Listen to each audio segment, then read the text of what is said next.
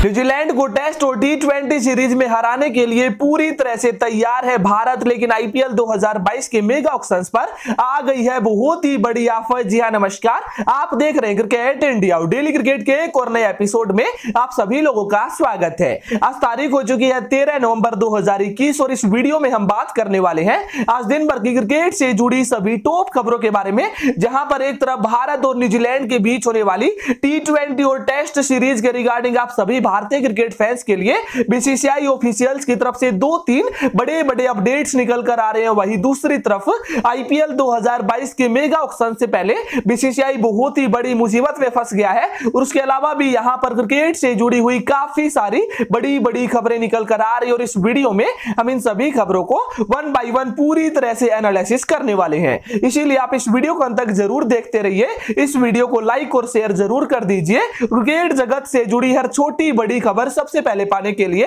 Video के नीचे cricket India को सब्सक्राइब करके बेल आइकन ज़रूर दबा देना।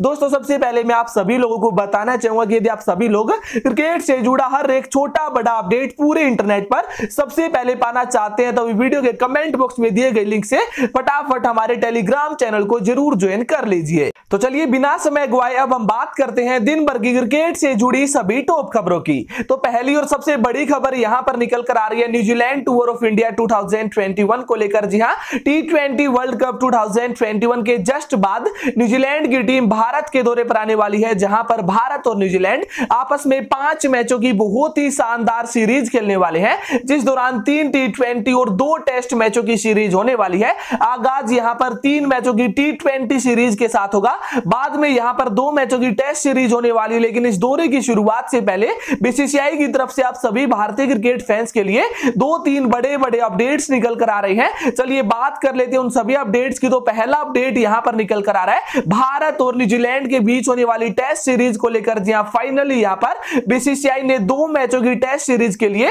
न्यूजीलैंड के खिलाफ भारतीय टीम का ऐलान कर दिया है। भारत की सोलह सदस्यीय टीम यहाँ पर चुनी गई है। टीम में हमें काफ़ी सारे चौंकाने वाले बदलाव देखने को मिले हैं। जहाँ पर सबसे बड़ा जो बदलाव वो यही कि भाई यहाँ पर कप्तान बदल गए हैं। जी हाँ विराट कोहली और रोहित शर्मा दोनों बड़े खिलाड़ियों को यहाँ पर इस सीरीज़ से आराम पर रखा गया अजिंक्य रहाणे यहाँ पर भारतीय टीम की कमान संभालते हुए नज़र आने वाले हैं। वही दूसरी तरफ़ चेतेश्वर पुजारा को यहाँ पर भारतीय टीम का वाइस कैप्टन बनाया गया है। टीम के बॉलिंग डिपार्टमेंट में भी हमें काफ़ी सारे बड़े बड़े चेंजेस देखने को मिले हैं, जहाँ पर जसप्रीत बुमराह, मोहम्मद शमी जैसे बड़े खिलाड़ियों को आराम पर रखा गया है। वही दूसरी तरफ़ मोहम्मद सिराज को टीम में शामिल किया गया है। ईशांत शर्मा भी हमें यहाँ पर खेलते हुए दिखाई देने वाले प्रसिद्ध कृष्णा को मौका मिला है। और विकेट कीपिंग डिपार्टमेंट में यहाँ पर केएस भारत को भारतीय टीम में शामिल किया गया है। पूरी टीम यहाँ पर बदल गई है, पूरी एक्सप्लोर्ड वीडियो हमने अपने यूट्यूब चैनल पर अपलोड कर दिया। आप उस वीडियो को ज़रूर देख लीजिए। उसके बाद हम बात करते हैं अगले अपडेट की तो यह अपडेट निकल कर आ रहा है। भारत और न्यूजीलैंड के बीच होने वाली टी सीरीज़ के रिगार्डिंग जी हाँ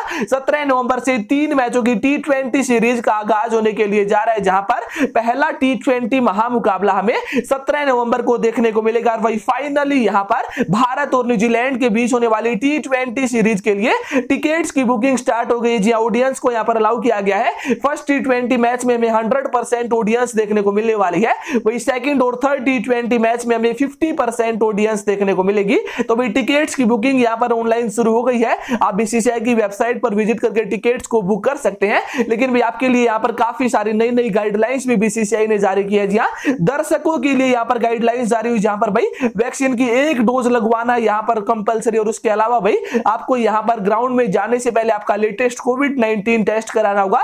उसकी रिपोर्ट वहाँ पर ग्राउंड की एंट्री से पहले दिखानी होगी। और भाई, यहाँ पर और भी काफ़ी सारी गाइडलाइंस है जो आपको बीसीसीआई की वेबसाइट पर देखने को मिल जाएगी। उसके बाद हम बात करते हैं अगली खबर की तो यह खबर निकल कर आ रही है। क्रिकेट का महासंग्राम, यानी वीवो आईपीएल 2022 के रिगार्डिंग जी हाँ बीसीसीआई फ़िलहाल पूरी तरह से जोरों शोरों से आईपीएल 2022 की तैयारी में जुटी हुई क्योंकि भाई, दो नई टीम आईपीएल में आई है। अहमदाबाद और लखनऊ की टीम आईपीएल में खेलने वाली है। दस टीमों के साथ आईपीएल 2022 होने वाला है। लेकिन सबसे बड़ा सवाल, कि आखिर कब होंगे आईपीएल 2022 के मेगा ऑक्शन? तो इसके रिगार्डिंग हमें बीसीसीआई ऑफिशियल्स की तरफ़ से आधिकारिक तौर पर बहुत ही बड़ा स्टेटमेंट हमें देखने को मिला। और भाई स्टेटमेंट जो है, वो कुछ ऐसा है कि भाई, यहाँ पर आईपीएल 2022 के मेगा ऑक्शन को थोड़ा सा और ज़्यादा पोस्टपोन किया जाएगा। जी आप सभी लोगों को बिल्कुल अच्छी तरह से पता है कि भाई, ऐसी रिपोर्ट्स आई थी कि भाई, इस साल के अंत में हमें आईपीएल 2022 की मेगा ऑक्शन देखने को मिलेंगे।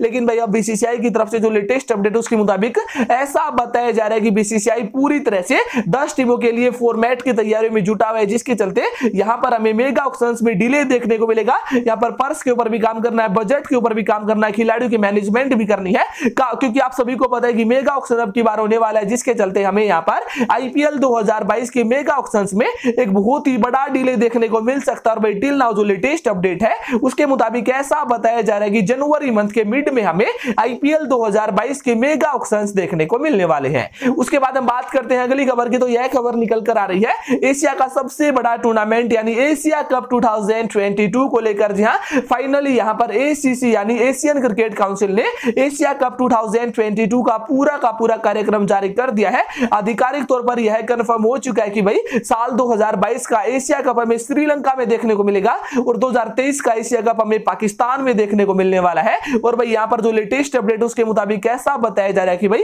भारत, पाकिस्तान, श्रीलंका और बांग्लादेश, इन चार टीमों ने यहाँ पर डायरेक्ट क्वालिफाई कर लिया। अफ़गानिस्तान के ऊपर अभी भी सस्पेंस है, क्योंकि भाई, अगर यहाँ पर अफ़गानिस्तान का क्रिकेट कंटिन्यू रहता तो भाई, अफ़गानिस्तान की टीम डायरेक्ट यहाँ पर टॉप सिक्स में क्वालिफाई कर लेगी। लेकिन भाई, जो छठी टीम होने वाली है, उसको यहाँ पर क्वालिफिकेशन के लिए अपने क्वालिफायर मैच खेलेंगे। भाई, उसके बाद यहाँ पर टीमें फिक्स हो जाएँगी। डेट्स के बारे में हम यहाँ पर बात करते हैं। तो टिल नाउ जो लेटेस्ट अपडेट्स है, उनके मुताबिक ऐसा बताया जा रहा है कि भाई, साल के मिड में हमें, जी हाँ जून मंथ के मिड से हमें एशिया कप 2022 की श्रीलंका में शुरुआत होती हुई दिखाई देने वाली है और जुलाई मंथ के फ़र्स्ट वीक में हमें एशिया कप 2022 का फाइनल महामुकाबला देखने को मिलने वाला है। उसके बाद हम बात करते हैं अगली खबर की तो यह खबर निकल कर आ रही है। आईपीएल 2022 के रिगार्डिंग रॉयल चैलेंजर्स बेंगलोर की टीम को लेकर, जी हाँ विराट कोहली ने आधिकारिक तौर पर कंफर्म कर दिया कि भाई टी फॉर्मेट की आगे वो कप्तानी नहीं करने वाले, जिसके चलते अगले सीज़न के लिए रॉयल चैलेंजर्स बेंगलोर की टीम ने नए कप्तान को खोजना शुरू कर दिया है। और फाइनली भाई, यहाँ पर आरसीबी की तरफ़ से हमें हिंट भी देखने को मिला नए कप्तान को लेकर। और वो इनके नए कप्तान हो सकते हैं श्रेयस अय्यर, क्योंकि भाई, श्रेयस अय्यर ने यहाँ पर डेली कैपिटल्स को छोड़ने का फैसला किया क्योंकि भाई, श्रेयस अय्यर यहाँ पर टीम के कप्तान रहना चाहते और डेली कैपिटल्स की टीम ने ऋषभ पंत को अपना कप्तान बना दिया है, जिसके चलते भाई,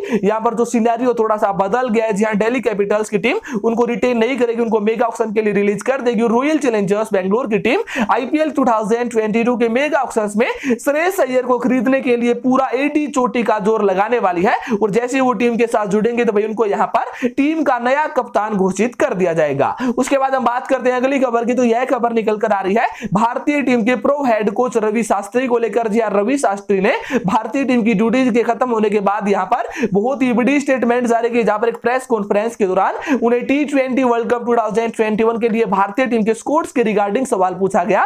तो भी उन्होंने यहाँ पर बिल्कुल क्लीन एंड क्लियरली बोला कि भी हम यहाँ पर प्लेइंग इलेवन के लिए सिलेक्शन कर सकते लेकिन जो प्लेइंग फिफ्टीन का सिलेक्शन है, वो बीसीसीआई की सिलेक्शन कमेटी ने किया। उसमें यहाँ पर कोच और कप्तान का किसी भी टाइप का कोई भी दोष नहीं कि भाई कौन खिलाड़ी अंदर है, कौन खिलाड़ी बाहर है। ये जो जितने भी डिसीज़न लिए थे, चाहे वो आपके युजवेंद्र चहल बाहर थे, चाहे रविचंद्रन अश्विन की वापसी थी, वो सभी डिसीज़न यहाँ पर सिलेक्शन कमेटी ने लिए थे। और इन्होंने यहाँ पर ऐसा ही कंफर्म किया कि भाई केवल प्लेइंग इलेवन के लिए वो अपनी टीम के लिए काम करते हैं। तो दोस्तों, ये आज तेरह नवंबर 2021 क्रिकेट से जुड़ी सभी टॉप खबरें। इन सभी खबरों के आपके क्या ओपिनियन सभी कमेंट बॉक्स में ज़रूर देना अपनी राय। फ़िलहाल किस वीडियो में इतना ही। ज़्यादा इन्फॉर्मेशन के लिए भी सब्सक्राइब कीजिए cricket India thanks for watching